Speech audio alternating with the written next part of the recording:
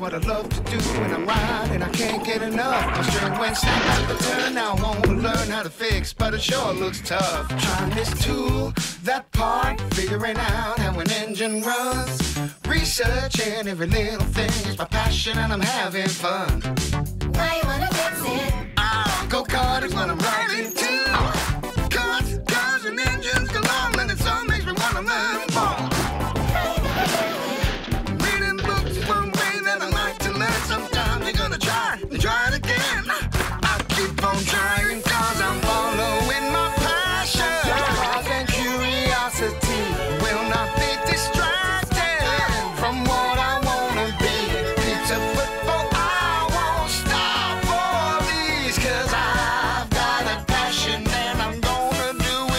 passionately.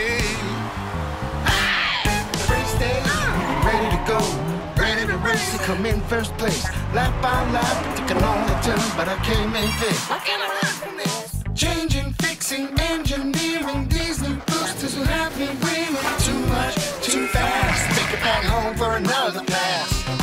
Hit my speed limit, coming in third, but I'm still not winning it. Hits me, I don't to drive. Pop the lid, see where my interest lies. The roar I hear, and now it's clear. I want to be an engineer, making the engine run at its optimum. with the shift to